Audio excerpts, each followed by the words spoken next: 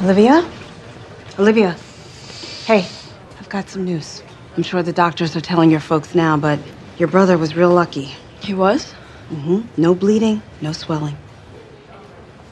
So he's gonna be okay. Well, he did take a vicious hit, but the doctors are hopeful there's no long-term damage, so. Thank you.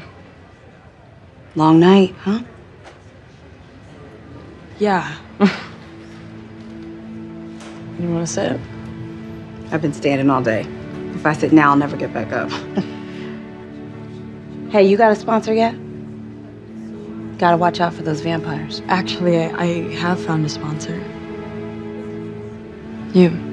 I wasn't offering. That's why I want you. Olivia, I'm not your friend. I don't need another friend. I thought they all left you. I'm probably gonna regret this. So is that a yes? As long as you take some responsibility for your actions. See you tomorrow.